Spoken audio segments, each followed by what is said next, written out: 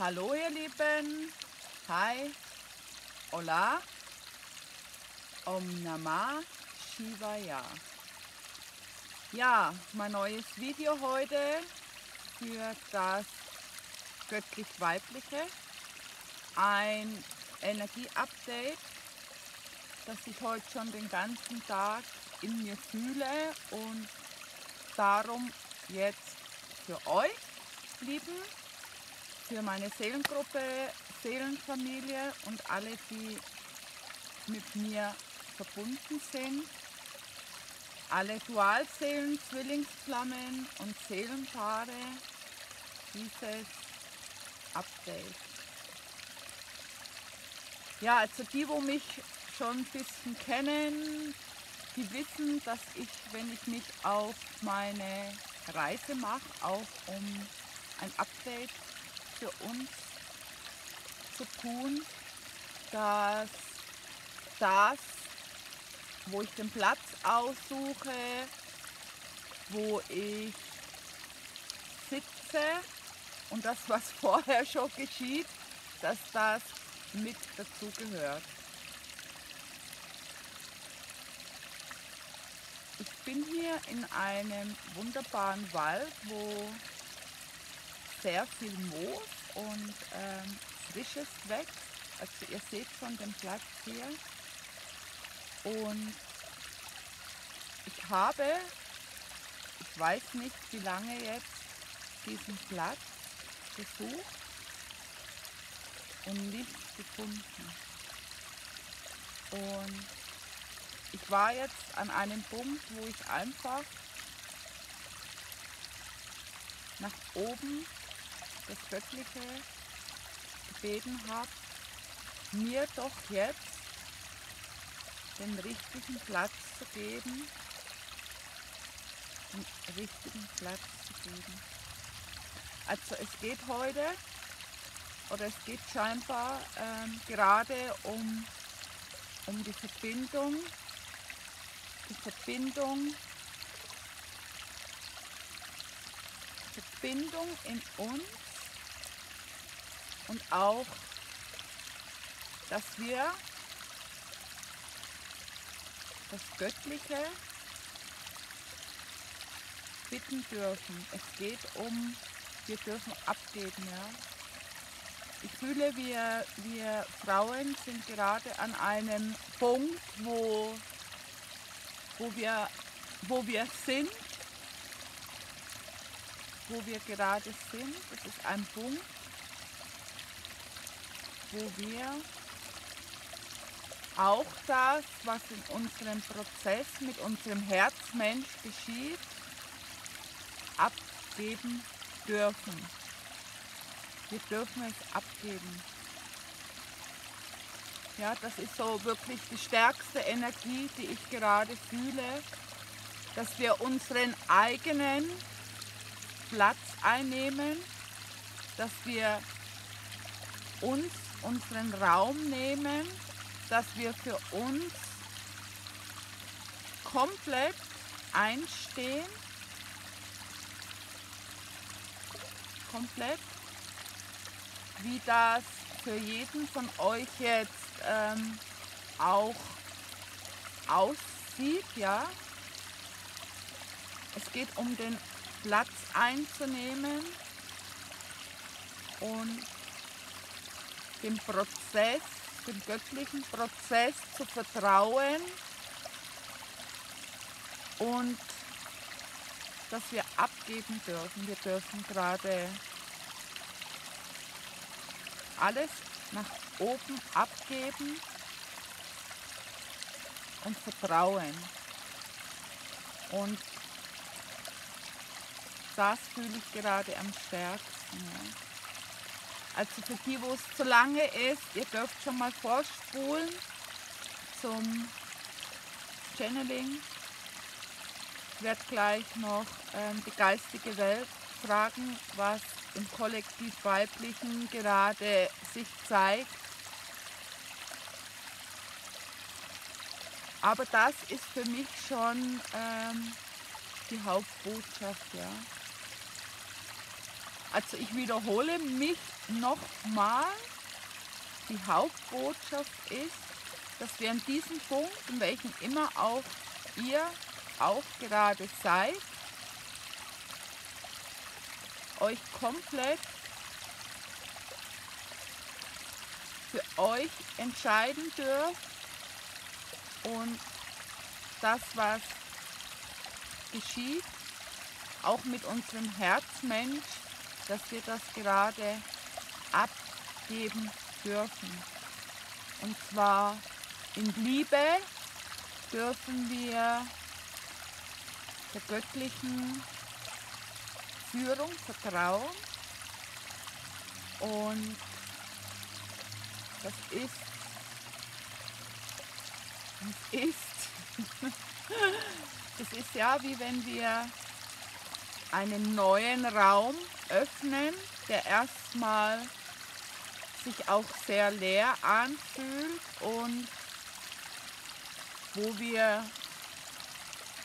Kontrolle abgeben, Kontrolle abgeben und geschehen lassen. Verbunden, verbunden mit der Urquelle, ihr seht auch hier diesen Fluss, verbunden mit Mutter Erde, verbunden mit allem und wir keine Ahnung haben, wo die Reise hingeht. Ja, also das schon mal vorab. Ja. Also ich werde jetzt ähm, die geistige Welt um eine Botschaft bitten. Ich werde die geistige Welt für alle meine Seelenfamilie, Seelengruppe, Kollektiv göttlich-weibliche.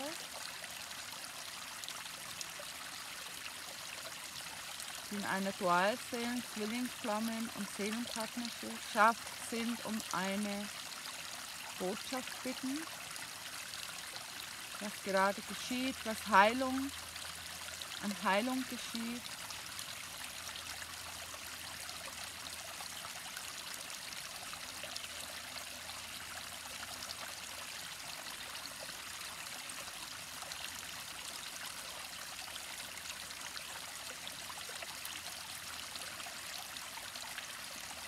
Diese tiefe Verbundenheit in uns Es geht um tiefe Verbundenheit in uns. Um die Hingabe, uns komplett hinzugeben, verbunden mit der Urquelle dem göttlichen, dem göttlichen Fluss.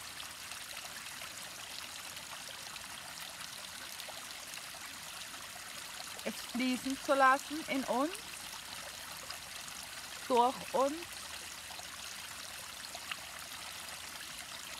Nichts mehr im Außen zu kontrollieren, sondern komplett in uns uns unserem eigenen Fluss hinzugeben. Unsere inneren Reise mit unserem Herzmenschen zu vertrauen.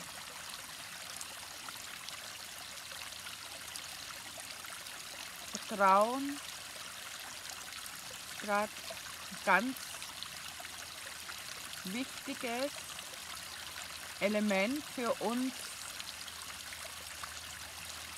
göttlich-weibliche, ja,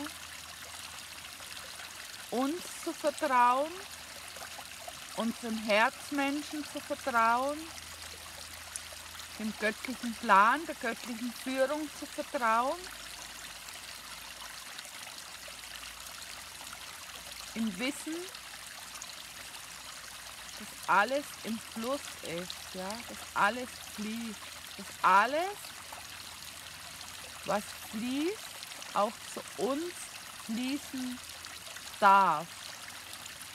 Wir, wir, wir können es nicht festhalten. Wenn wir es festhalten, kann es nicht fließen. Es kann weder fließen noch zu uns kommen.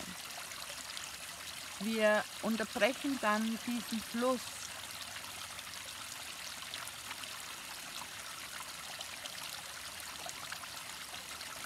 Geduld. Geduld.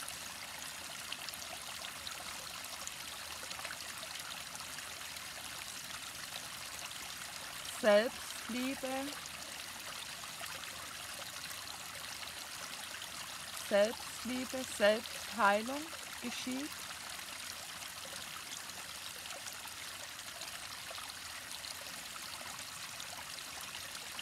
Viele weibliche, also Themen mit der Weiblichkeit gehen in Heilung durch dieses Fließen lassen, durch dieses Fließen lassen, verbinden mit Mutter Erde geschieht Heilung in unserem Wurzelchakra. Das Wurzelchakra ist gerade das, was heilt, das, was wie auch gereinigt wird durch dieses Fließen lassen geschieht wie eine Reinigung.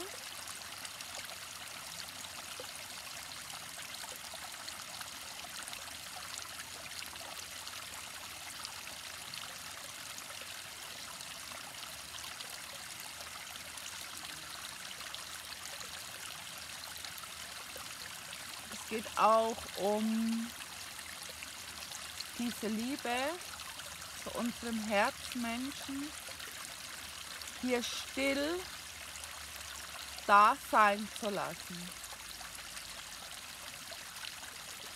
Darf ganz still und tief in uns.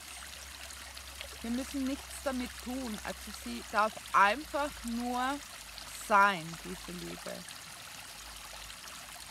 Ohne etwas im Außen zu wollen. Ich rede von, dem, von der momentanen Zeitqualität. Wie lange diese immer auch geht, das ist nur hier irdisch.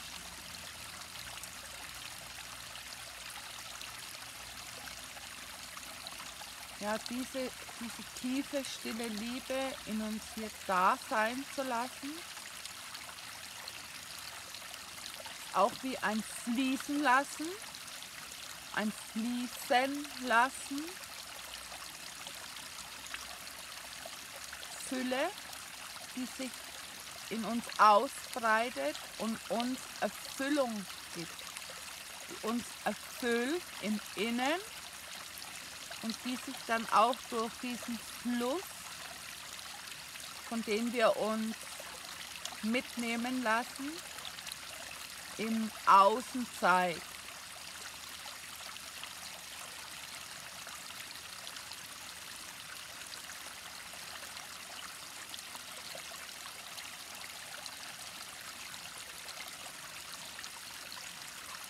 Ja, meine Lieben,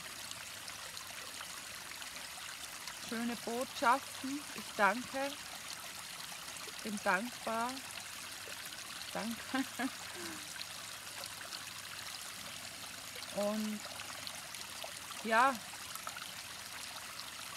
was gibt es jetzt da noch zu sagen?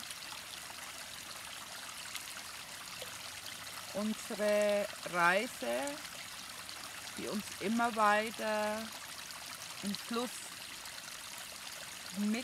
mitzieht, zu uns zieht, in uns und wir auf unseren Weg ja immer wieder ins Vertrauen gehen dürfen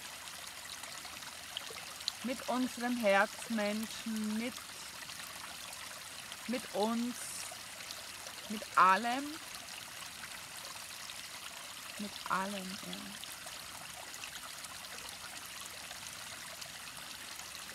Okay, also für die, die mich immer noch nicht kennen, äh, mein Name ist Andrea Maher. Ihr könnt da unter dem Video ein bisschen was über mich lesen, wer ich bin, was ich mache und warum ich was mache. Ich selbst bin seit 2016 in einer Dual-Seelen-Zwillingsflammen Beziehung, Verbindung, Prozess und ja, bin meinem Herzmann sehr dankbar. Ja. Ja, also ich freue mich wieder über ein Feedback von euch. Ihr dürft mir ein Like geben, ihr dürft meinen Kanal abonnieren. Ich werde morgen oder übermorgen fürs Kollektiv Männliche ein Update machen. Und da freue ich mich schon. Und jetzt sage ich Bye-bye. Tschüss, ihr Lieben. Ich wünsche euch einen schönen Nachmittag, Abend, Vormittag, wann immer auch ihr das Video, die Botschaft seht. Und sag Namaste. Ich grüße das göttliche Licht in dir. Tschüss. Bye. Bye, bye.